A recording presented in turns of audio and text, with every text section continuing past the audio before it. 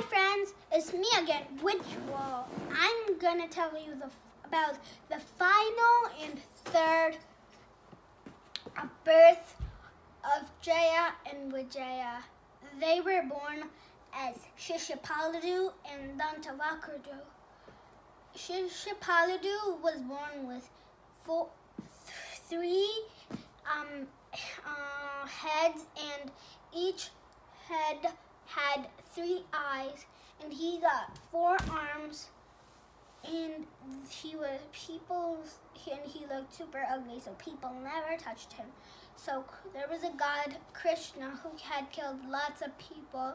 He he wanted to visit visit his so Shishupaludu was his relative so he wanted to visit him. So then when he visited him he kept him in his lap and he turned turned like no, a normal human being, but still was bad. Then a lightning said that now Krishna turned turned him like um Krishna turned him good when he touched him. So this baby's um uh death will be in Krishna's hand. So his mother said to Krishna, Please, Krishna, do not kill my son. But Krishna says, Okay, I will, I will kill your son, kill your son if he does 100 mistakes in front of me in one day. So she said yes, and when he dies, he'll go to go to a happy place.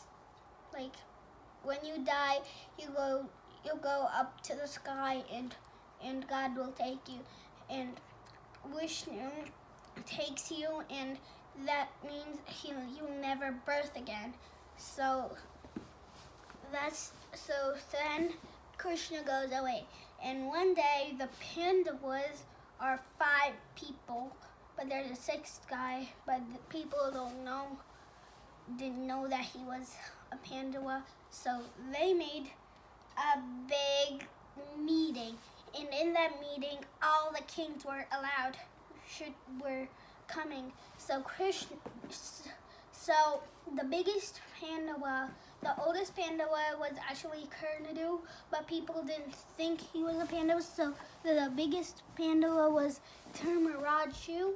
So he made a big meeting and there he said that Krishna was God. So everybody was happy that Krishna was God, but Shishupaludu was, and he said, he said, why did you make Krishna the God? He's just stupid. Sometimes he says his father is Vasudevadu, and sometimes he says his father is Nandadu.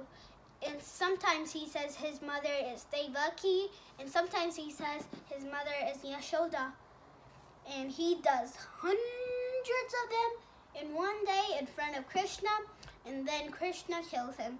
But, okay, this is one of the Jaya and Vijaya. Who's birthday? And there's there's another one. He horns with with Shishupaludu. He see he he heard, hears about it and says, "Hmm, I must kill my brother's enemy. So he does tapasya and he gets a wish and then he tries to kill Krishna, but Krishna ki kills him because Krishna is Vishnu. And this is the end of today's story. Bye guys. Adios. Please like, subscribe, and share this video. Bye guys.